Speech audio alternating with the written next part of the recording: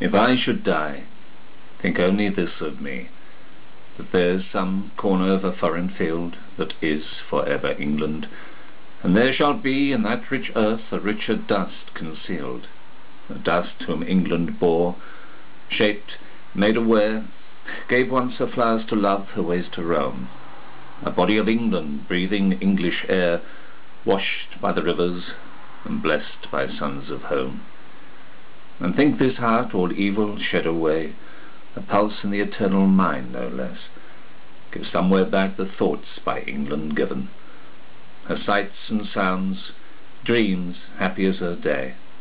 and laughter learnt of friends, and gentleness in hearts at peace under an English heaven.